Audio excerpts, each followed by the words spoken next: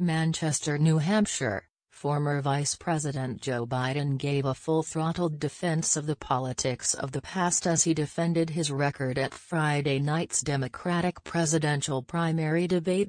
Rival Pete Buttigieg, who at 38 is the youngest candidate in the White House race, once again targeted Biden and some of the other candidates on the debate stage with years of political experience in the nation's capital. Buttigieg said at the debate that I just bring a different perspective.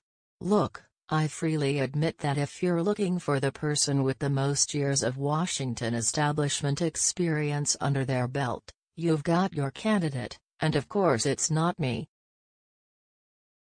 Touting his eight-year tenure as South Bend, Indiana mayor, Buttigieg said the perspective I'm bringing is that of somebody whose life has been shaped by the decisions that are made in those big, white buildings in Washington, D.C., somebody who has guided a community written off as dying just a decade ago through a historic transformation.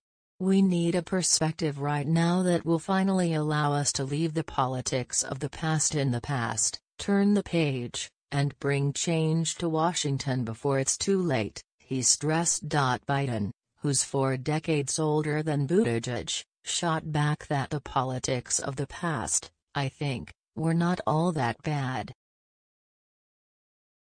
He then touted that I wrote the Violence Against Women Act. I managed the $900 billion Recovery Act, which, in fact, put millions and millions of dollars into his city before he came and helped save his city. I was able to do it, I was able to pass the chemical weapons ban, arms control. And I was the first major leader holding public office to call for same-sex marriage.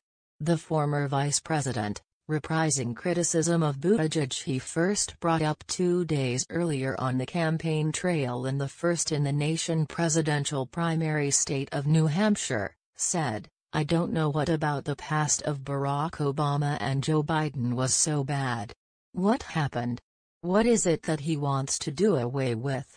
We were just beginning. It was just the beginning of what will be the future of moving this country beyond where it is now in significant ways. Buttigieg, responding to Biden, agreed that those achievements were phenomenally important because they met the moment. But now we have to meet this moment,